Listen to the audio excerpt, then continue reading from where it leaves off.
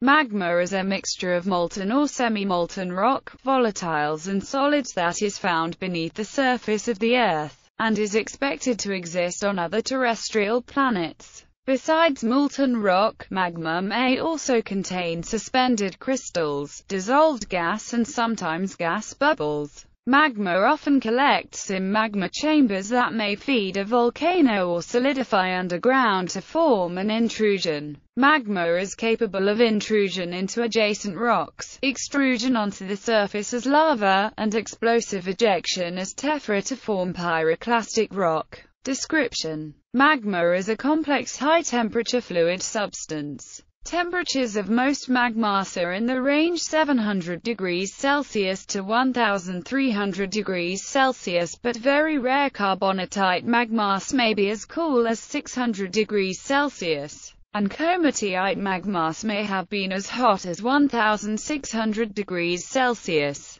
Most magmas are silicate mixtures. Environments of magma formation and compositions are commonly correlated. Environments include subduction zones, continental rift zones, mid-ocean ridges and hotspots. Despite being found in such widespread locales, the bulk of the Earth's crust and mantle is not molten. Except for the liquid outer core, most of the Earth takes the form of a rheid, a form of solid that can move or deform under pressure. Magma, as liquid, preferentially forms in high-temperature, low-pressure environments within several kilometers of the Earth's surface. Magma compositions may evolve after formation by fractional crystallization, contamination, and magma mixing. By definition rock formed of solidified magma is called igneous rock. While the study of magma has historically relied on observing magma in the form of lava outflows, magma has been encountered in situ three times during geothermal drilling projects, twice in Iceland, and once in Hawaii. Source Partial melting Melting of solid rocks to form magma is controlled by three physical parameters its temperature, pressure, and composition. Mechanisms are discussed in the entry for igneous rock. When rocks melt they do so incrementally and gradually. Most rocks are made of several minerals, all of which have different melting points, and the physical, chemical relationships controlling melting are complex. As a rock melts, its volume changes. When enough rock is melted, the small globules of melt link up and soften the rock. Melts can stay in place long enough to melt to 20% or even 35%, but rocks are rarely melted in excess of 50%, because eventually the melted rock mass becomes a crystal and melt mush that can then ascend en masse as a diapir, which may then cause further decompression melting. Geochemical implications of partial melting The degree of partial melting is critical for determining what type of magma is produced. The degree of partial melting required to form a melt can be estimated by considering the relative enrichment of incompatible elements versus compatible elements. Incompatible elements commonly include potassium, barium, cesium, rubidium. Rock types produced by small degrees of partial melting in the Earth's mantle are typically alkaline, potassican, or peralkaline. Typically, primitive melts of this composition form lamprophyre, lamproite, kimberlite and sometimes nepheline-bearing mafic rocks such as alkali basalt and essexite gabbros or even carbonatite. Pegmatite may be produced by low degrees of partial melting of the crust. Some granite composition magmas are eutectic melts, and they may be produced by low to high degrees of partial melting of the crust, as well as by fractional crystallization. At high degrees of partial melting of the crust, granitoids such as tonalite, granodiorite and monzonite can be produced but other mechanisms are typically important in producing them. Magma usage for energy production. The Iceland Deep Drilling Project, while drilling several 5,000 meters holes in an attempt to harness the heat in the volcanic bedrock below the surface of Iceland, struck a pocket of magma at 2,100 meters being only the third time in recorded history that magma had been reached. IDDP decided to invest in the hole, naming it IDDP-1. A cemented steel case was constructed in the hole with a perforation at the bottom close to the magma. The high temperatures and pressure of the magma steam were used to generate 36 megawatts of power, making IDDP-1 the world's first magma-enhanced geothermal system. Evolution of magmas Primary melt When a rock melts, the liquid is a primary melt.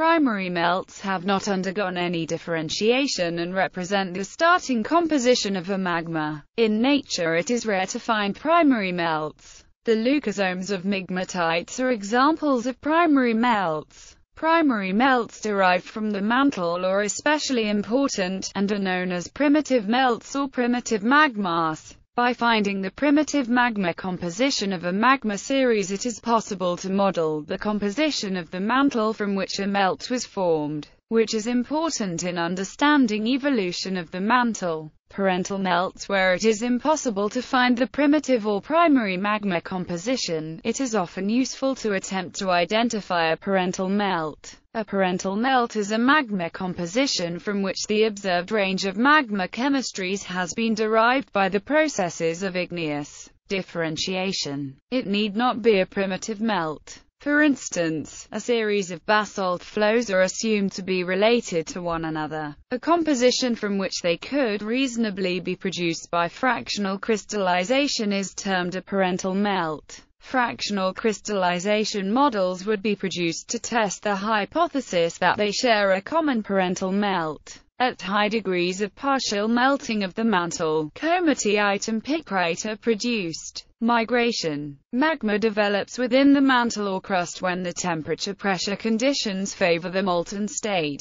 Magma rises toward the Earth's surface when it is less dense than the surrounding rock and when a structural zone allows movement. Magma develops or collects in areas called magma chambers. Magma can remain in a chamber until it cools and crystallizes forming igneous rock. It erupts as a volcano, or moves into another magma chamber. Cooling of magmas. There are two known processes by which magma ceases to exist. By volcanic eruption, or by crystallization within the crust or mantle to form a pluton. In both cases the bulk of the magma eventually cools and forms igneous rocks. When magma cools it begins to form solid mineral phases. Some of these settle at the bottom of the magma chamber forming cumulates that might form mafic layered intrusions. Magma that cools slowly within a magma chamber usually ends up forming bodies of plutonic rocks such as gabbro, diorite and granite depending upon the composition of the magma. Alternatively, if the magma is erupted it forms volcanic rocks such as basalt, andesite and rhyolite.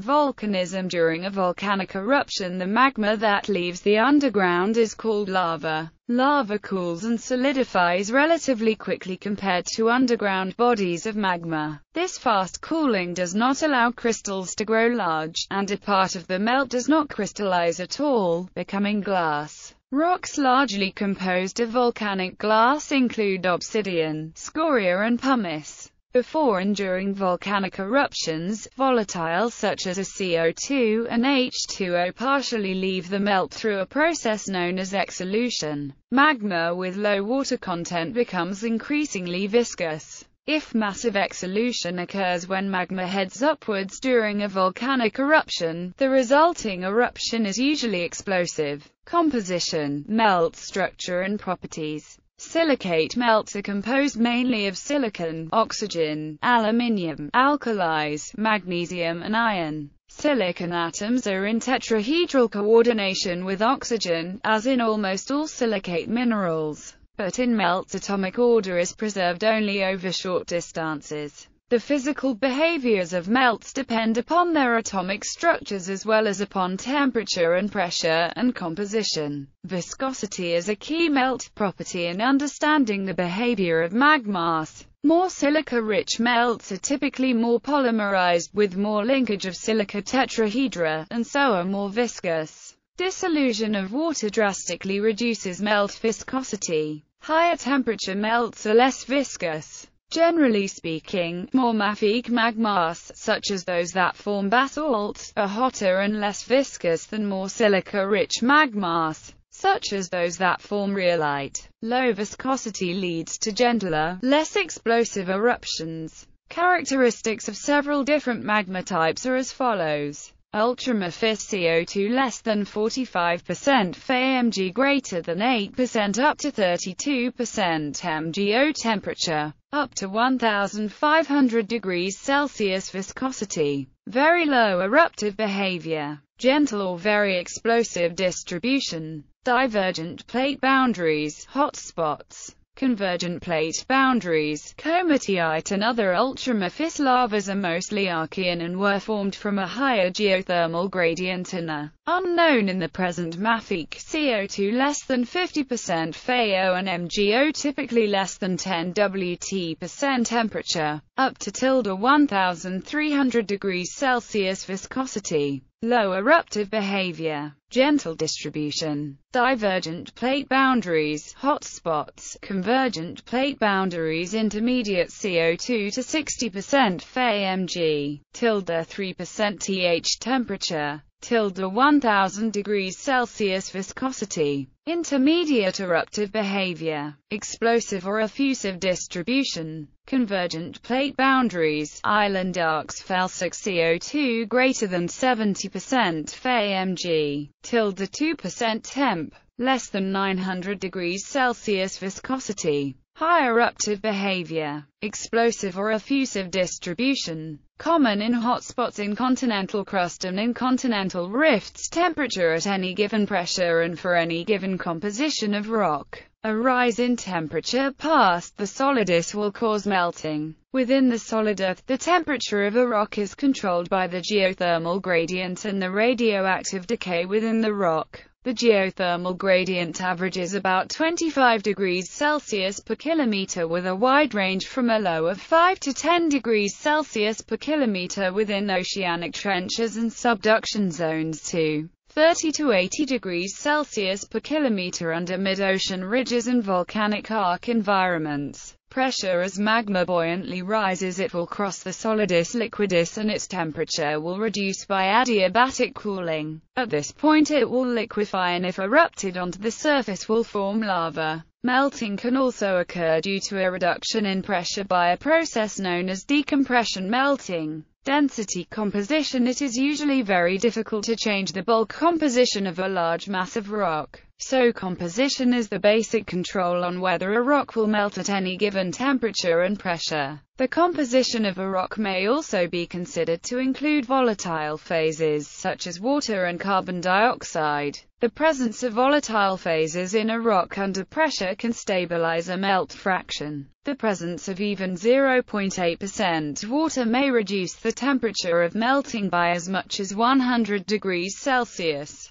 Conversely, the loss of water and volatiles from a magma may cause it to essentially freeze or solidify. Also a major portion of all magma is silica, which is a compound of silicon and oxygen. Magma also contains gases, which expand as the magma rises. Magma that is high in silica resists flowing, so expanding gases are trapped in it. Pressure builds up until the gases blast out in a violent, dangerous explosion. Magma that is relatively poor in silica flows easily, so gas bubbles move up through it and escape fairly gently.